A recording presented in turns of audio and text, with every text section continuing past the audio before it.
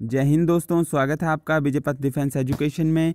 आज हमारी class six है HP police daily mix GK की। इस वीडियो में डिस्कस करेंगे more than fifteen most important question जो कि आपके एचपी पुलिस एग्ज़ाम के लिए मोस्ट इंपॉर्टेंट रहेंगे। आपके लिए ये वीडियो मिशन 2021 रहेगा, जो आपके एचपी पुलिस एग्ज़ाम को क्रैक करने में काफ़ी हेल्पफुल रहेगा। वीडियो शुरू करने से पहले मैं आपको बता दूँ, हमारा बेसिक फाउंडेशन का कोर्स स्टार्ट हो चुका है, जो कि कवर करवाता है आपके आने वाले सभी स्टेट और सेंट्रल गवर्नमेंट एग्ज़ामों को। So, hundred percent sure success के लिए आप अपना श्योर बैच स्टार्ट कर सकते हैं विजयपथ डिफेंस एजुकेशन में। सो, फ़र्स्ट क्वेश्चन है इस वीडियो का, लामा डल झील कहाँ पर स्थित है? तो लामा डल झील जो है, ये कहाँ पे स्थित है? Where is the Lamadal lake located तो ये हमारी स्थित है डिस्ट्रिक्ट चंबा में। इस वीडियो में हम हिमाचल जी के इंडिया जी के और कुछ जनरल साइंस के मोस्ट इंपॉर्टेंट क्वेश्चन डिस्कस करेंगे। यहाँ पे आपने कंफ्यूज नहीं होना है। क्योंकि एक और क्वेश्चन यहाँ से बनता है कि सिर्फ़ डल झील कहाँ पे है? अगर डल झील की बात करें, अगर मैं हिमाचल की बात करूँ तो डल झील है हमारी डिस्ट्रिक्ट कांगड़ा में, जो कि धर्मशाला में पड़ती है। और अगर मैं लामा डल झील की बात करूँ तो ये पड़ती है डिस्ट्रिक्ट चंबा में। और अगर आपको ऑल इंडिया से एक अगर अगर क्वेश्चन आता है कि डल झील कहाँ पे है तो तब आपने प्रेफरेंस करनी है जम्मू एंड कश्मीर को। नेक्स्ट वन है, यमुना नदी का पौराणिक संबंध किस देवता से है? तो यमुना नदी का जो है, वो रिलेशन किस देवता से माना जाता है? तो वो माना जाता है सूर्य देवता से। और अगर इसके पुराने नाम की बात करें, यमुना नदी का पुराना नाम क्या है? तो कालिंदी जो है, इसका पुराना नाम है और ये हिमाचल की सबसे छोटी नदी है। सिरमौर डिस्ट्रिक्ट से जो है, ये बहती है। नेक्स्ट वन है भारतीय राष्ट्रीय ध्वज का डिज़ाइन किसने तैयार किया? Who design who designed the design of the Indian national flag तो इंडियन नेशनल फ्लैग जो है, हमारा राष्ट्रीय ध्वज, उसका डिज़ाइन किसने तैयार किया गया था? तो ये तैयार किया था पिंगली वेंकैया ने। और अगर मैं राष्ट्रीय ध्वज की रेशो की बात करूँ तो वो होता है हमारा sorry two ratio one two ratio one जो है, वो हमारी राष्ट्रीय ध्वज की रेशो है। नेक्स्ट वन है बनिहाल दर्रा किस राज्य में स्थित है?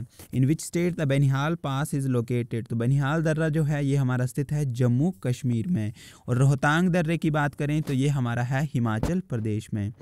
नेक्स्ट वन है, वर्तमान में भारतीय रिज़र्व बैंक के गवर्नर कौन है? Who is the currently the governor of Reserve Bank of India तो भारतीय रिज़र्व बैंक जो है, ये है हमारा मुंबई में और प्रेजेंट के गवर्नर है शक्तिकांत दास, जो कि हैं हमारे ट्वेंटी फिफ्थ नंबर के गवर्नर। और अगर मैं फ़र्स्ट गवर्नर की बात करूँ कि India reserve bank of India के पहले भारतीय गवर्नर कौन थे तो उनका नाम था C D Deshmukh. Next one है, मित्र शक्ति नामक संयुक्त सैन्य अभ्यास किन दो देशों के मध्य किया जाता है? Joint military exercise called elite power is done between beach two countries तो मित्र शक्ति अभ्यास जो है, ये किया जाता है भारत और श्रीलंका के बीच में। नेक्स्ट वन है स्टेट बैंक ऑफ़ इंडिया का पुराना नाम क्या है? What is the old name of State Bank of India तो भारतीय स्टेट बैंक जो है, वो पब्लिक सेक्टर में सबसे बड़ा बैंक है और तीसरे नंबर पे आता है हमारा बैंक ऑफ़ बड़ौदा अगर मैं पब्लिक सेक्टर की बात करूँ तो तो और स्टेट बैंक ऑफ़ इंडिया का जो पुराना नाम है, वो है हमारा इम्पीरियल बैंक ऑफ़ इंडिया है, मानव शरीर का कौन सा अंग इंसुलिन पैदा करता है? बॉडीज प्रोड्यूस इंसुलिन तो मानव शरीर का ऐसा कौन सा अंग है जहाँ से इंसुलिन रिलीज़ होता है? तो उसका नाम है अग्नाशय, जो कि है हमारा पेनक्रियाज एक और क्वेश्चन यहाँ से बनता है कि इंसुलिन में कौन सा एलिमेंट कंटेन होता है? तो इसमें होता है जस्ता, जिसको कि हम जिंक बोलते हैं, और जिंक का सिंबल होता है जेड एन नेक्स्ट वन है, पृथ्वी की जुड़वा बहन किस ग्रह को कहा जाता है? Which planet is called the twin sister of earth पृथ्वी की जुड़वा बहन जो है, ये कहा जाता है शुक्र ग्रह को। और दूसरे नंबर पे हमारा ये ग्रह आता है। पृथ्वी की तरह ही ये हमारा ऑलमोस्ट ग्रह है। और जो अगर मैं बात करूँ कि नंबरिंग के हिसाब से शुक्र जो है, वो हमारे दूसरे नंबर पे आता है। और पृथ्वी जो है, वो हमारे तीसरे नंबर पे आती है। नेक्स्ट वन है,